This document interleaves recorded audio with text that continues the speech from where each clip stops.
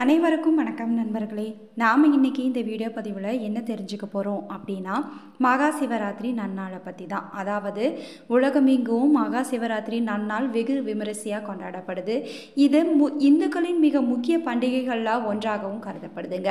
இந்த மகா சிவராத்திரி நன்னாளில் நாம் எப்படியெல்லாம் சிவனை வழிபட்டால் குபர யோகம் உண்டாகும் அதை பற்றிய முது முழுமையான தகவலை இந்த வீடியோ பதிவின் மூலமாக முழுவதுமாக தெரிஞ்சுக்க போகிறோம் ஸோ இந்த வீடியோ பதிவை நீங்கள் ஸ்கிப் பண்ணாமல் லைக் பண்ணிவிட்டு பாருங்கள் மேலும் இந்த வீடியோ பதிவை நீங்கள் லைக் பண்ணுங்கள் ஷேர் பண்ணுங்கள் கமெண்ட் பண்ணுங்கள் மறக்காமல் நம்மளுடைய சேனலை சப்ஸ்கிரைப் பண்ணுங்கள் கூட இருக்க பெல் பட்டனையும் மறக்காமல் கிளிக் பண்ணுங்கள் அப்போ தான் நாங்கள் போடுற ஒவ்வொரு பதிவும் நோட்டிஃபிகேஷன் மூலமாக உடனுக்குடன் உங்களை வந்து சென்றடையுங்க. இப்போது வாங்க வீடியோக்குள்ளே போகலாம்.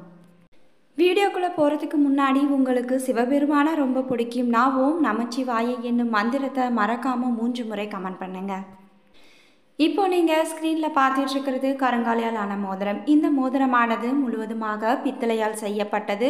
மேலும் தாங்கத்தால் முலாம் பூசப்பட்டிருக்குதுங்க. இந்த மோதிரத்தை நாம் அணிவதால் நமக்குள்ள ஒரு ஆன்மீக சக்தியை நம்முள் செலுத்தக்கூடிய ஒரு அற்புதமான மோதிரம் தான் இந்த கருங்காலியால் ஆன மோதிரம். மேலும் பணப்புழக்கத்தையும் அதிகரிக்க செய்யக்கூடியதுங்க.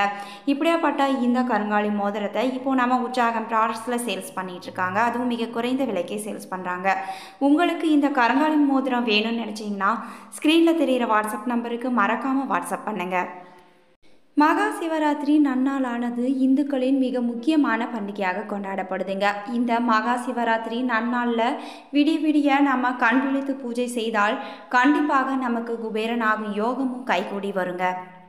விடிய விடிய கண் விழித்து நான்கு கால அபிஷேகங்களையும் தரிசனம் செய்து சிவனை வணங்கி வந்தாலே கண்டிப்பாக குபேரனாகும் யோகமும் தேடி வருங்க.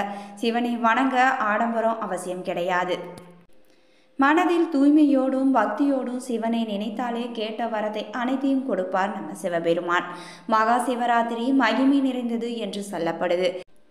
கருட புராணம் பத்ம புராணம் அக்னி புராணம் கந்த புராணம் அருணாச்சல புராணம் சிவராத்திரி புராணம் உள்ளிட்ட பல நூல்கள் சிவராத்திரியின் மகிமைகளை பற்றி பலவாரம் சொல்லியிருக்குதுங்க. மகா சிவராத்திரி நாளில் சிவ ஆலயம் சென்றார். ஓராண்டு முழுக்க சிவ பூஜை செய்த புண்ணியம் உங்களை வந்து சேருங்க. மாதந்தோறும் சிவராத்திரி உண்டு என்றாலும் மாசி மாதத்தில் வருவதே மகா சிவராத்திரி என்று போற்றப்படுது. வெள்ளிக்கிழமை சுக்கிரவார பிரதோஷத்துடன் இணைந்து மகா சிவராத்திரி வருவது மிகவும் சிறப்பு வாய்ந்ததாக கருதப்படுதுங்க. சிவராத்திரி என்பது பல கல்பகோடி இரவுகள் சேர்ந்து வந்த ராத்திரி என்று சொல்லப்படுது. பல இரவுகளிலும் செய்கின்ற பூஜையின் பலனை சிவராத்திரி பூஜை ஒன்றே கொடுத்துவிடும் என்றும் சொல்கிறாங்க சித்தர்கள். பல சதுர்யுகங்கள் முடிந்து பல கல்பங்கள் முடிந்து இதில் வரும் இரவுகள் அனைத்திலும் அன்னை பராசக்தி ஈசனை பூஜை செய்திருக்கிறாங்க. தொடர்ந்து பன்னெண்டு சிவராத்திரி இரவுகளில் அண்ணாமலை கிரிவலம் சென்றால் நமது கர்ம வினைகள் அனைத்தும் கரைந்து காணாமல் போய்விடும் என்றும் சிவனடியார்கள் சொல்லியிருக்காங்க. மகா சிவராத்திரி அன்று காண்பிழித்து சிவனை வணங்கினாலே நாம் செய்த அத்தனை பாவங்களும் நம்மை விட்டு கரைந்து காணாமல் போய்விடுங்க. அடுத்த மூன்று ஆண்டுகளில் நாம் எதிர்பார்க்கும் அளவிற்கு மகத்தான செல்வ வளமும் நம்மை வந்து சேரும் என்பதில் நம்மில் பலருக்கும் தெரியாத ஒரு சித்த ரகசியமும் இருக்குதுங்க. ஈசனுடைய ஐந்து முகத்தை நினைவூட்டும் விதமாகவும் பஞ்சபூதங்களின் தத்துவங்களை விளக்கும் விதமாகவும் ஐந்து வித சிவராத்திரிகள் வகைப்படுத்தப்பட்டு இருக்குதுங்க. ஒரு வருடத்திற்கு பன்னெண்டு மாதங்கள் ஒரு மாதத்திற்கு இரண்டு சிவராத்திரிகள். ஆக ஆண்டிற்கு இருபத்தி நான்கு சிவராத்திரிகள் வருதுங்க. அவை வளர்பிறை சதுர்த்தசி தேய்பிறை சதுர்த்தசி ஆகும். இது நித்திய சிவராத்திரி என்று சொல்லப்படுது. தை மாதத்தில் வரும் தேய்பிறை சிவராத்திரியே பச்ச சிவராத்திரி என்று சொல்லப்படுதுங்க. திங்கட்கிழமையன்று சதுர்த்தசி திதி பகலும் இரவும் அறுபது நாளிகைகள் சேர்ந்து வந்தால் அது யோக சிவராத்திரி என்று சொல்லப்படுது. இந்த யோக சிவராத்திரியே இந்த வருடம் வருதுங்க. அதாவது யோகியர் மறந்திடாத சிவராத்திரி என்று சொல்லப்படுது. அனைவரையும் யோகிகளாக மாற்றக்கூடிய சிவராத்திரி தான் இப்பொழுது வருகின்ற சிவராத்திரி. மாதந்தோறும் வரும் சிவராத்திரியை மாத சிவராத்திரி என்று சொல்கிறாங்க மாசி மாதத்தில் தேய்பிரை சதுர்த்தசி இரவுதான் மகா சிவராத்திரி என்று போற்றப்படுது. இவைகளில் ஏதாவது ஒரே ஒரு சிவராத்திரி விரதம் இருந்தாலே போதும் மனித பிறவி எடுத்தமைக்கான பலனை அடைந்துவிட முடியும் என்று அகத்தியரும் சொல்றாங்க. இந்த சிவராத்திரி பூஜையால பெண்களுக்கு இழைத்த துரோகம் பெண்களுக்கு செய்த சாபம் பெண்களுக்கு இழைத்த கொடுமைகள் நீங்குங்க. அதே போல ஒரு பெண் தனது கணவனுக்கு துரோகம் செய்திருந்தால் தவறை உணர்ந்து திருந்தி இந்த சிவராத்திரி பூஜையை செய்தாலே கணவனுக்கு செய்த துரோகம் மறைந்துவிடும் என சிவமகாபுராணமும் சொல்லுதுங்க. சிவராத்திரி விரதமானது யம பயத்தை நீக்கும். சிவனடியார்களை யம தூதர்கள் நெருங்க அஞ்சுவார்கள் என்கிறது புராணங்க. சிவராத்திரி நான்காம் காலத்தில் மிருத்யுஞ்சய மந்திரத்தை படிப்பதால் நோய்கள் அனைத்தும் விலகும். சிவராத்திரி அன்று தான தர்மங்கள் செய்வதால் கோடி புண்ணியங்களும் நமக்கு கிடைக்குங்க. சிவலிங்கம் உருத்ராட்சம் ரத்தினங்கள் நிவேதன பொருட்கள் அன்னம் போன்றவைகளை தானம் செய்யலாங்க. சிவாய நம என சிந்திப்போருக்கு அபாயம் ஒருபோதும் இல்லை என்பது ஆன்றோரின் வாக்காக இருக்குது. சிவராத்திரி அன்று தம்பதிகளாக கணவன் மனைவி ஆகிய இருவரும் சிவலிங்க வழிபாடு செய்து வந்தாலே இல்லறம் இன்பமயமாக திகழும்.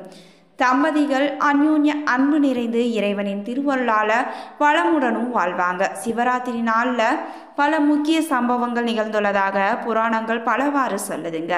பார்க்கடலை தேவர்களும் அசுரர்களும் இணைந்து கடைந்த போது பொங்கி வந்த ஆழகால விஷம் மண்ணுலக மக்களை பாதிக்கக்கூடாது என்று எண்ணிய சிவபெருமான் ஆழகால விஷத்தினை தனது கண்டத்தினுள் தாங்கி நீலகண்டனாக மாறி உலகத்தை அழிவிலிருந்து காத்தது இந்த சிவராத்திரி நன்னாளில்தான் என்று சொல்லப்படுது.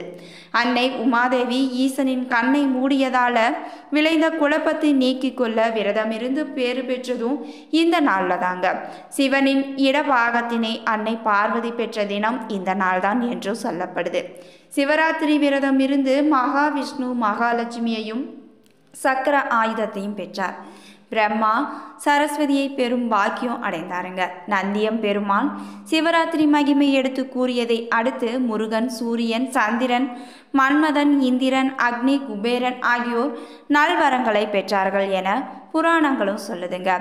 பிரம்மா தனது படைப்பு தொழிலை தொடங்கிய இந்த நாளில் தான் இந்திரன் தேவலோக அதிபதியாக மாறியதும் இதே நாளில் தாங்க குபேரன் செல்வத்தின் அதிபதியான நாளும் இந்த சிவராத்திரி நன்னாளில் தாங்க எனவே தான் மகா சிவராத்திரி நாளில் விடிய விடிய கண் விழித்து ஈசனை வணங்கினாலே குபேர யோகமும் தேடி வரும் என்று சொல்லப்படுது.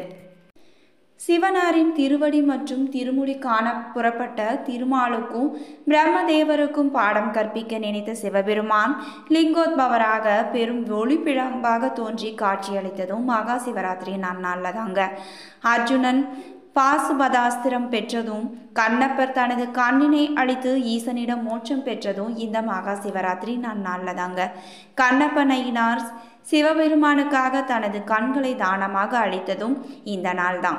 சிவபெருமான் தனது பக்தன் மார்க்கண்டேயனுக்காக யமனை காலால் உதைத்த தினமும் சிவராத்திரி நன்னாள் தான் இன்றைய தினத்துல விரதம் இருந்து சிவ ஆலயம் சென்றாலே ஓராண்டு முழுக்க சிவ பூஜை செய்த புண்ணியம் உங்களை கண்டிப்பாக வந்து சேருங்க.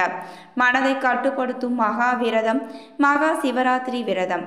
இந்த நாளில் உபவாசம் இருக்க வேண்டும். அதாவது சாப்பிடாமல் விரதம் மேற்கொள்ள வேண்டுங்க. கண் விழித்து ஈசனை நினைந்து உருகி வழிபட வேண்டும். இந்த மகா சிவராத்திரி நன்னாளில் முடிந்த வரைக்கும் மகா சிவராத்திரி விரதம் மேற்கொள்ள வேண்டுங்க. முடிந்தவங்க விரதம் மேற்கொள்ளுங்க. அருகில் உள்ள ஆலயங்களில் இரவில் நடைபெறும் பூஜைகளில் கண்டிப்பாக கலந்து கொள்வோம். சிவராத்திரி நாளில் விடிய விடிய நான்கு ஜாமங்கள்லையும் நான்கு கால பூஜை நடத்த வேண்டும். வாசனை மலர் அலங்காரத்தை விடவும் வில்வ அர்ச்சனையே பூஜைக்கு ஏற்றதுங்க.